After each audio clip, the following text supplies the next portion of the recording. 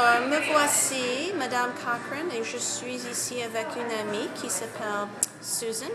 Et elle est étudiante à l'université Rutgers et elle va vous parler comment elle a commencé avec le français. Alors, euh, Susan, parle du commencement. Euh, à quel âge as- as-tu débuté avec le français? D'accord. Euh, bonjour tout le monde. Ma mère, elle était euh, mon première prof de français, donc c'était par là, par, grâce à elle, que j'ai commencé à étudier le français. Et puis, euh, j'ai j'ai hab- habité ou j'ai vécu avec euh, ma famille pendant six mois en France. Euh, Quel âge avais-tu? j'avais 16 ans, oui. Euh, avant ça, j'ai étudié en fait à Summer Christian Academy. Ma mère, elle était euh, prof là-bas aussi. Et euh, on a passé 10 jours, je crois, avec une famille euh, au Canada. Donc ça, c'était la première total immersion. Très bien.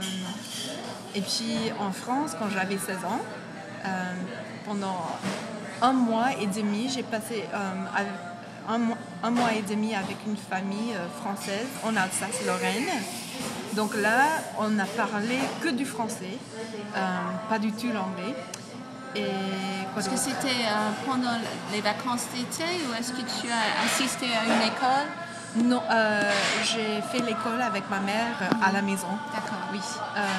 Et puis pendant cette ce, ce mois-là, j'ai étudié le français. Donc qu'est-ce que j'ai fait là?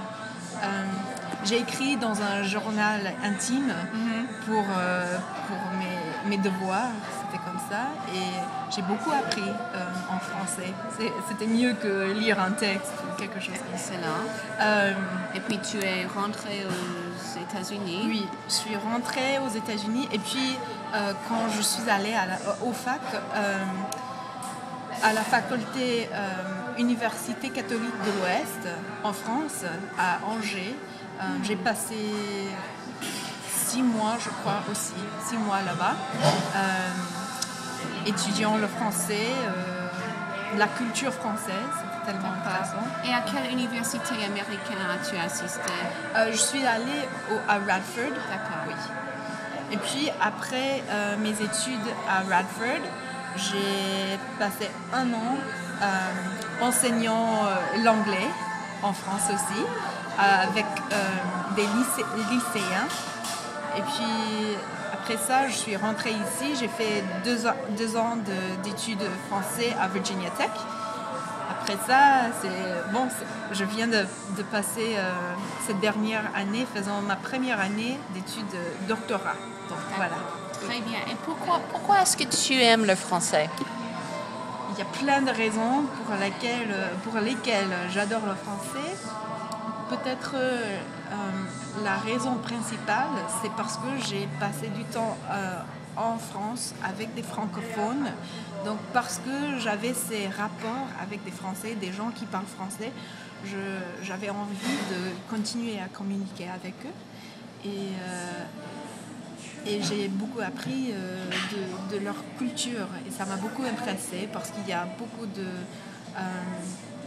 de sujets religieux euh, qui m'intéressent, beaucoup d'histoires. Euh, j'adore la cuisine, j'adore les arts. Donc euh, c'est tout ça, c'est toute la culture qui, qui m'a beaucoup intéressée et les gens surtout. Oui. Alors, merci beaucoup et bonne chance avec, avec les études. Au revoir.